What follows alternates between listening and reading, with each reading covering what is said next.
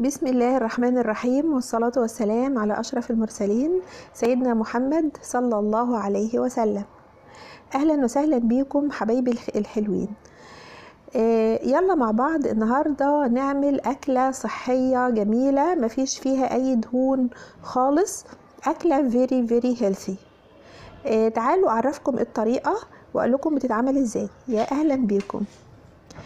ده صدور فراخ مخلية مفيش فيها أي دهون نهائي خالص. آه، طبعا بتيجي من عند الفرارجي مضمونة. آه، مفيش فيها جلد ولا دهون آه، علشان نعمل الشاورما بتاعتنا. آه، طبعا الشاورما اللي بتتشرى من بره إحنا مش عارفين هل البانيه ده مغسول ولا لأ. هل منقوع في ليمون آه، ودقيق وملح آه، يعني وتتبيلة آه، ولا لأ؟ ولا هما بي- بيطبخوه إزاي؟ ولا فيه جلد؟ ولا فيه دهن؟ ولا نظامه إيه؟ لكن ده بيتي ونضيف ومضمون جدا. إحنا بنقطعه قطع صغيرة كده زي ما أنتم شايفين. تمام يا حبايبي؟ وبعدين بنتبله آه، ونعينه آه، في التلاجة. يعني الأفضل إن إحنا نبيته في التلاجة أنا بيته في التلاجة. تمام علشان يشرب من التتبيلة بتاعته آه، ويكون آه، طعمه حلو في الأكل. بس مش هتلاقي. آه، طبعا إحنا ممكن لو مش هنبيته في التلاجة ممكن يقعد نص ساعة. البهارات بتاعتنا كالآتي فلفل أسمر بهارات فراخ وكركم. آه، تمام؟ بس كده. أنا مش بحب أكتر قوي في بهارات الفراخ. آه، لو هضيف حاجة إضافية تانية من عندي ممكن تكون بهارات الشاورما نفسها آه، وأعصر عليها ليمون وممكن طبعا هضيف آه، الملح. ده حاجة مهمة جدا إضافة الملح علشان إحنا بن- بنحط فيه الملح من دلوقتي. آه، تمام؟ وطبعا دبس الرمان آه، فراخ يعني دبس الرمان. آه، ما بتقدرش تستغنى ابدا عن دبس الرمان بيديها طعم حلو وجميل جدا وطعم غني. آه، تمام كده يا حبايبي. آه، طبعا إحنا بنقلبها كويس بحيث إن كل البهارات تكون متداخلة بعضها وفص توم. آه، نسيت أقول لكم على فص التوم ده. آه، هو طبعا جاي من الفريزر فأنا بايه بفكه كده من بعضه علشان آه، يختلط بكل المكونات. التوم مش عايزة أقول لكم بقى بيعطيها طعم رهيب جدا جدا للتتبيلة. تمام كده هي دي بهارات الشاورما اللي قلت لكم عليها. أنا سبتها للآخر خالص. عموما هو كل ده آه، في النهاية بنعينه آه، في الفر... في التلاجة ونبيته لتاني يوم. أكلة صحية جدا جدا يا حبايبي. آه، مفيش فيها دهون خالص.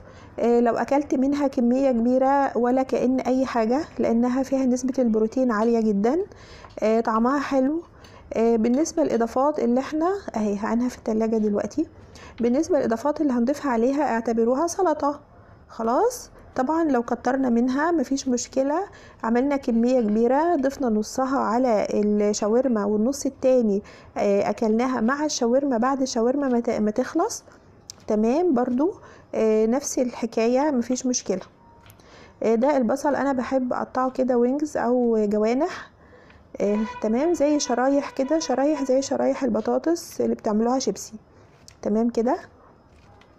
كذلك آه، الفلفل بقطعه بنفس الطريقة والطماطم بقطعها بنفس الطريقة اللي هي شرايح. طبعا أنا مش عايزة آه، أعملها في الكبة علشان مش عايزة البصلة تنعم قوي معايا آه، أنا عايزاها بالشكل ده. تمام كده؟ والمكون التاني معانا هو الفلفل. أكلة بسيطة حبايبي الغاليين آه، مش هتاخد منكم وقت ولا مجهود خالص آه، وهتعطيكم هي بقى طعم حلو قوي آه، بالنسبة لو عندكم أطفال عايزين تجددوا لهم في الوصفات بحيث إنهم ياكلوا أكلة حلوة طعمها حلو ويكونوا فرحانين بيها بالنسبة للأطفال اللي بيحبوا سندوتشات الشاورما من بره كده هتعملها لهم في البيت بكل سهولة وبدون مجهود ده برضو نفس الكلام الطماطم. آه، بالنسبة للناس الرياضيين اللي هم كل أكلهم بروتين آه، الوجبة دي حلوة جدا ليهم. آه، بالنسبة حتى لو في حد مش بيعرف يقف في المطبخ زي الناس المغتربين مثلا اللي هم مش بيعرفوا يطبخوا هي وجبة سهلة جدا. هي عبارة عن إيه؟ سلطة وصدور فراخ مخلية إحنا قطعناها بالشكل ده وتبلناها. بس جدا مفيش أي حاجة تانية. إيه المكونات الأربعة؟ إيه بصل طماطم فلفل فراخ متبلة. إيه شايفين أنا مش هستخدم نقطه زيت نهائي خالص. إيه زي ما أنتوا شايفين كده. إيه حطيت ال- صدور الفراخ المخلية بعد ما باتت ليلة في التلاجة. تمام؟ إيه إحنا بنشوحها الأول لغاية لونها ما بيكون أبيض. إيه بصوا أنا بحب لما أجي أشوحها بحط معاها البصل في جنب إيه وكأن دي طاسة ودي طاسة تانية خالص. إيه لكن في يعني هو البصل بحب أحطه في الأول علشان يستوى معايا مش بحب طعمه هو مقرمش. تمام كده؟ إيه ده على جنب وده على جنب. والله لو لو ده أخد من طعم ده مفيش مشكلة لكن أنا مش عايزة أخلطهم على بعض علشان إيه ما أخدش من حق الفراخ في التشويح لوحدها. يعني لما تتشوح لوحدها بتدي طعم مختلف عن لما تكون مخلوطة مع البصل. لو بتاخد حقها في التشويح. شايفين هو خلاص البصلة بقت طرية معانا اهي. مش هتقرمش في البق ولا حاجة وانتوا بتاكلوا أو مش هتبان. آه خلاص كده. آه ده اول مرحلة في السوا. آه المية اللي نازلة من سواء كان الفراخ أو البصل دي مرحلة ما المية تنشف من الطاسة يبقى هي دي مرحلة السوا. لا قبلها ولا بعدها.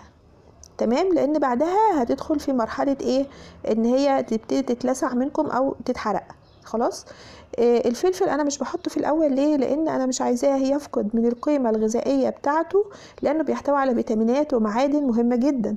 أنا بس عايزاه ياخد من طعم الشاورما آه وفي ناس آه بالنسبة لل وكذلك الطماطم. مش بحب احطها في الأول عشان كده.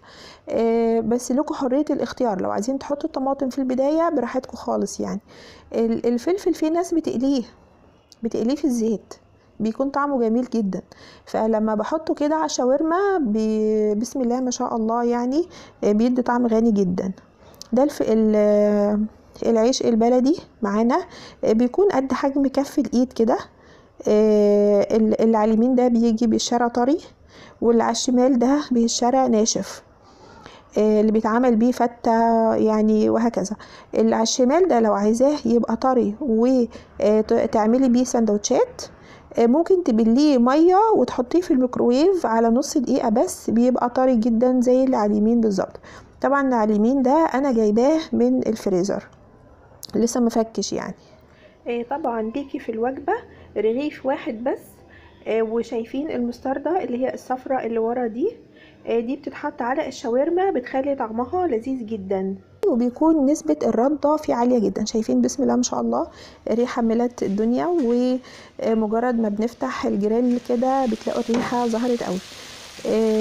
خلاص هو كده استوى. أخد كل المكونات من بعضها واستوى.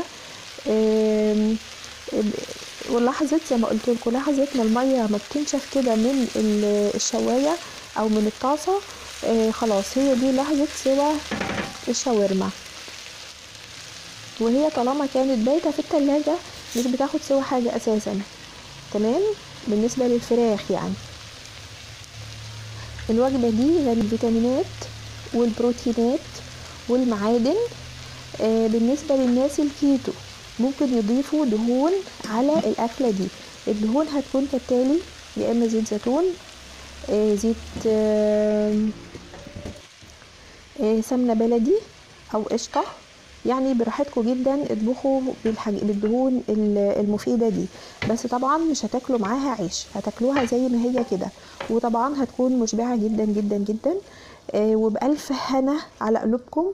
يا رب الفيديو يكون عجبكم وإن شاء الله أنا عايزاكم تقوموا بقى كده تتشجعوا وتعملوه وتتنشطوا. هو مش هياخد منكم حاجة لكن هو هيعطيكم قيمة غذائية عالية ومشبع جدا.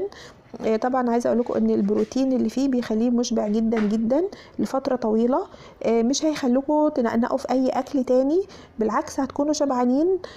ممكن يشبعكم لثلاثة أو أربع ساعات من غير ما تحطوا في بقكم أي حاجة تانية خالص. بالنسبة للناس الكيتو اللي بيضيفوا دهون عليه بيشبعهم أكتر من كده. ما تنسوش تشتركوا في القناة وادعموني ب like للفيديو. ده بعد إذنكم يعني. مش مش عايزة أتعبكم معايا بس اللايك بيفرحني جدا. وانزلوا تحت بقى ادوني تعليق تحت وقولوا لي إيه رأيكم في الفيديو. وأشوفكم على خير في فيديو جديد. والسلام عليكم ورحمة الله وبركاته.